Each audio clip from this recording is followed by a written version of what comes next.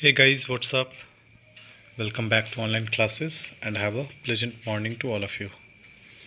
Now, I, Ajay Kumar, your English teacher, is going to start a new topic that is clauses. Uh, so, we have actually finished in previous video the topic, the sentence in which we have read the simple sentence, then we have read about the compound sentence, we have read about complex sentence, and we have also read about combining simple sentence to form complex sentence and then compound complex sentence in which we have seen how one I mean uh, sentence was depending upon another sentence. So from there we have uh, learned about clauses. Now we will learn more about clauses. So what are cl called clauses? We'll see the definition first of the clauses so a clause is a group of words that contains a finite verb and form part of a sentence clause क्या है? शब्दों का एक समूह है जिसमें एक finite verb होता है और वो सेंटेंस का एक हिस्सा एक कंप्लीट सेंस बना के आ, मतलब रिप्रेजेंट करता है। आ, इसमें और हम लोगों ने क्या क्या पढ़ा है? क्लॉज के बारे में। In previous classes we have also learn what we have learn so far that we will see. We have learned clauses can be independent और डिपेंडेंट क्लॉजेज जो है इंडिपेंडेंट होते हैं और डिपेंडेंट दोनों होते हैं. Wait just one second next हम लोग देखेंगे सबॉर्डिनेट जिसको कि हम लोग डिपेंडेंट भी बोलते हैं. Clauses can not stand alone independently उसको अगर अकेला अगर सबॉर्डिनेट क्लॉज को लिखा जाए डिपेंडेंट क्लॉज को लिखा जाए तो वो अकेला अधूरा होता है कंप्लीट सेंस नहीं आता है। It must be linked to the main clause to express its full meaning इसलिए ज़रूरी है कि उसको हम आ, एक मेन क्लॉज से जोड़े ताकि उसका पूरा का पूरा मतलब निकल के आ सके। थर्ड पॉइंट जो हम लोगों ने आ, सीखा है that is subordinate clauses are part of complex sentence sentences subordinate clause जो होता है वो कॉम्प्लेक्स सेंटेंस का हिस्सा होता है। नेक्स्ट जो हम लोगों ने सीखा है वो complex sentences contains at least two finite verbs और जो कॉम्प्लेक्स सेंटेंस होता है उसमें एटलीस्ट मतलब कम से कम दो फाइनाइट वर्ब होते हैं। It has many clauses sorry it has as many clauses as finite verb now there is only one independent clause in a complex sentence complex sentence कितना भी लंबा हो उसमें एक ही सिर्फ़ इंडिपेंडेंट क्लॉज होगा ये आपको ध्यान में रखना है नाउ द वर्ड्स और sorry the word or words that join a subordinate or dependent clause with independent clause are called subordinating conjunctions जो कि हम लोग ने पिछले टॉपिक में पिछले वीडियो में डिस्कस किया था उसके बारे में जाना था। Now I would like to ask you from you people to comment in the comment box कि uh, जो सबॉर्डिनेटिंग कंजंक्शंस हैं वो कौन कौन से हैं। आप कमेंट सेक्शन बॉक्स में कमेंट करके बताइए। Next will see kinds of subordinate clauses subordinate clauses के काइंड्स क्या क्या होते हैं? तो इसको हम लोग समझने के लिए you know will take some example पहले तो देख लेते हैं, जो काइंड होता है, वो होता है द नाउन क्लॉज पहला है noun clause so will go through the examples read the following sentences हम लोग पढ़ेंगे पहले सेंटेंस को और उसके बाद उसको डिस्कस करेंगे, उसको समझने की कोशिश करेंगे। There are two sentences here as you can see on your screen. Rohit has informed, let me take the pen, brush. Uh, Rohit has informed me then that our team has won the tournament. Now here you can see एक coordinating conjunction है जोड़ रहा है है ना Rohit has inform me और उसके बाद our team has won the tournament और दूसरा में देखिए that dolphins are extremely intelligent is a well known fact तो आई हैव जस्ट अंडरलाइंड मैंने अंडरलाइन कर दिया है सेंटेंस वर्ड्स को। फाइन तो इस सेंटेंस में हम क्या देखते हैं? In both the sentences the underline words are subordinate और डिपेंडेंट क्लॉज जो अंडरलाइन वर्ड्स हैं, वो सबऑर्डिनेट हैं या तो फिर डिपेंडेंट क्लॉज हैं। क्यों हैं? उसके बारे में जानेंगे। Because they functions as noun वो नाउन के जैसा फ़ंक्शन करते हैं। जैसा कि हम देख सकते हैं in sentence A the noun clause occupies the position of object जैसा कि हम लोगों ने पढ़ा है, एक सेंटेंस में जो होता है सब्जेक्ट वर्ब प्लस ऑब्जेक्ट होता है राइट right? ये हम लोगों ने पढ़ा है we can see subject verb and object है क्या?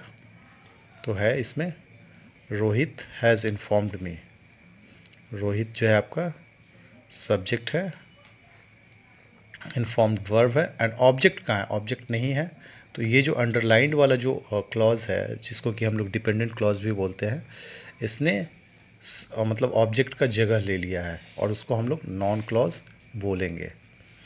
Now in sentence B the noun clause occupies the the noun clause occupies the position of subject तो सब्जेक्ट दूसरे सेंटेंस में हम देखेंगे कि subject verb egg plus object जो होता तो इसमें ऑब्जेक्ट है is a well known fact यहाँ पे ऑब्जेक्ट है। फाइन वेल नोन फैक्ट जो है, यहाँ पे वर्ब है, यहाँ पे ऑब्जेक्ट भी है, लेकिन सब्जेक्ट नहीं है। तो इस सब्जेक्ट जो पूरा अंडरलाइन सेंटेंस है the dolphins are extremely intelligent ये पूरा का पूरा जो है सब्जेक्ट है और चूँकि ये ग्रुप में है वर्ड्स ऑफ़ ग्रुप है तो इस it will be called as a noun clause noun clause क्यों कहलाएगा? क्योंकि ये नाउन का जगह ले रहा है। और ये ग्रुप ऑफ़ वर्ड्स में इसलिए नाउन क्लॉज कहलाएगा।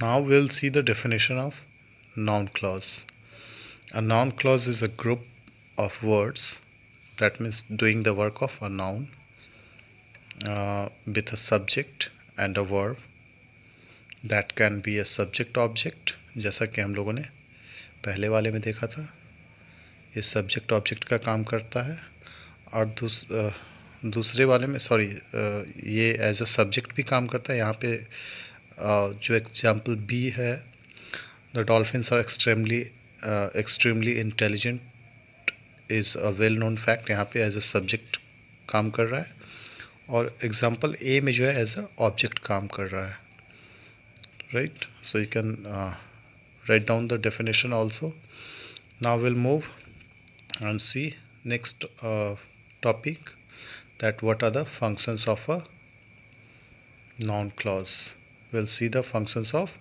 noun clause now let us see the function, how it functions, कैसे काम करता है। Subject of a verb noun clause जो है सब्जेक्ट ऑफ़ अ वर्ब के तौर पे भी काम करता है। We can see in the examples हम लोग एग्ज़ाम्पल में देखेंगे।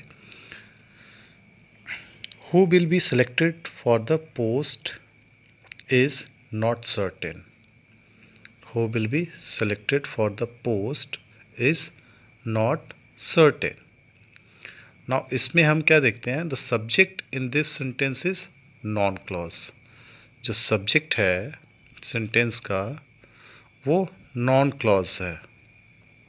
आप इसको देख सकते हैं will be selected for the post यहाँ तक जो है, ये नॉन क्लॉज है. It is called noun clause उसके बाद हम देखते हैं governing the verb is what is not certain तो ये जो नाउन क्लॉज है, ये किसको गवर्न कर रहा है? इज़ नॉट सर्टेन को गवर्न कर रहा है।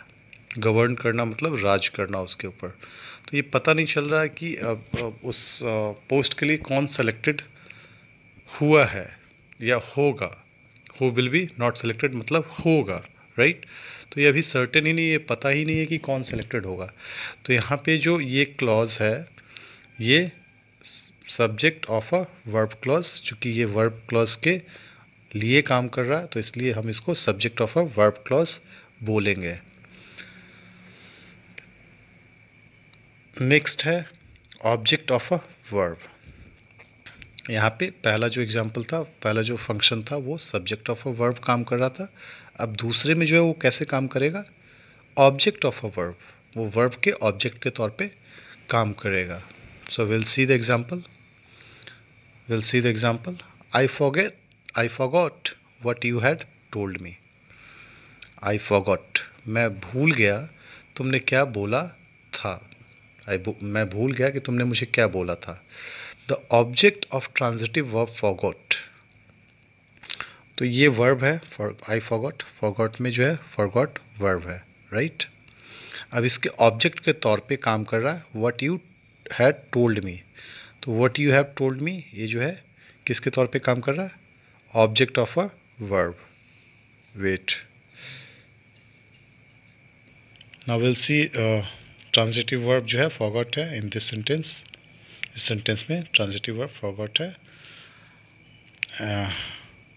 what you have you had told me तो फॉरगॉट क्या, भूल गया। तो इसके लिए जो बाद में आया है what you had told me ये आपका एक नॉन नाउन क्लॉज है, और कैसे फ़ंक्शन कर रहा है, वो वर्ब के ऑब्जेक्ट के रूप में काम कर रहा है। Will see next example object of a participle participle के ऑब्जेक्ट के रूप में काम कर रहा है। हम एग्ज़ाम्पल के थ्रू समझेंगे। Learning that I was ill he came to visit me learning that I was ill he came to visit me जब उसको यह पता चला कि मैं बीमार था तो वह मेरे से मिलने आया। तो यहाँ पे हम देखेंगे the noun clause that I was ill ये जो नॉन क्लॉज है noun clause that I was ill sorry I was ill in this sentence is the object वो क्या है? ऑब्जेक्ट है. किसका? किसका ऑब्जेक्ट है? Can answer uh, this question in the comment section box. Learning that i was ill he came to visit me इसमें that I was ill is noun clause यहाँ से है that I was ill is noun clause and it is the object of the present participle learning ये किसका object है? Learning का object है। Fine now you can see learning what किस चीज़ के बारे में? द फाइनाइट वर्ब केम वो जानने के बाद क्या किया? आया। मिलने के लिए आया। राइट नाउ ही हैज़ जो ही है यहाँ पे as a as it subject is the main clause अब हम दूसरा एग्ज़ाम्पल देखेंगे। Object of an infinitive noun clause कैसे काम करता है? चौथा एग्ज़ाम्पल उसका चौथा फ़ंक्शन देखेंगे। Object of an infinitive will go through the example हम लोग एग्ज़ाम्पल देखेंगे. He came to tell me that the school was close he came to told me that the school was close right इसमें हम क्या देखते हैं? The noun clause that the school was close in this sentence is the object of infinitive वो किसका है? I mean ये noun clause किसका है? ऑब्जेक्ट ऑफ़ इन्फिनेटिव और इन्फिनेटिव इसमें क्या है? टू टेल वो बताने के लिए आया था. Right to tell what to tell that the school was close वो क्या करने आया? द मेन क्लॉज जो है इसमें है he came he came to tell me that the school was closed Now everything has been defined here in this example. More you can uh, read in your book if you have the book. The book is uh, New Grammar Tree. The New Grammar Tree. Fine. Oxford uh, School Education publication hai. And if still if you have the problem in understanding, you can ask me personally. You can uh, text me.